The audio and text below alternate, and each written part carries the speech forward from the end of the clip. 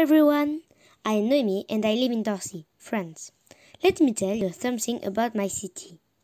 Before, Torcy's name was Torcy-le-Grand. Then it became Torcy-en-Brie. And now it's just simply Torcy.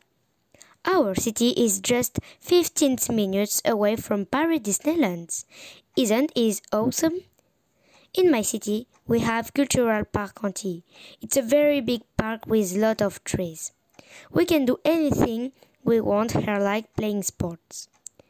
This place is famous and wonderful. When it comes to food, Torcy has a lot of offer.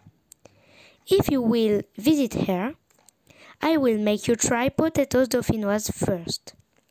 It's made of potatoes and some cream, and it's very delicious. And for dessert, I recommend you try macarons.